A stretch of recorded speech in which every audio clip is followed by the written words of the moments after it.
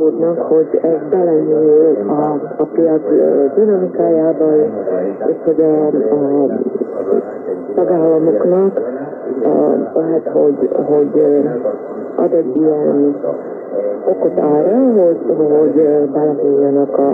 a médiatörvénybe. Én ezt nem tartani, tartani pontosan azért, mert, mert uh, tudjuk, hogy a, a valós életben ezek, ezek a javaslatok, ez, ez az európai törvény, viszont minden attól fog függeni, hogy milyen módon fogják ezt a törvényt alkalmazni a kormányok. És minden a tagállamokban minden attól függ, hogy milyen éppen a politikai reprezentáció,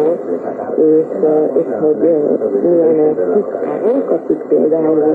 a médiakorban, mert erről még nem beszéltünk, és ha nagyon szeretnék visszatérni,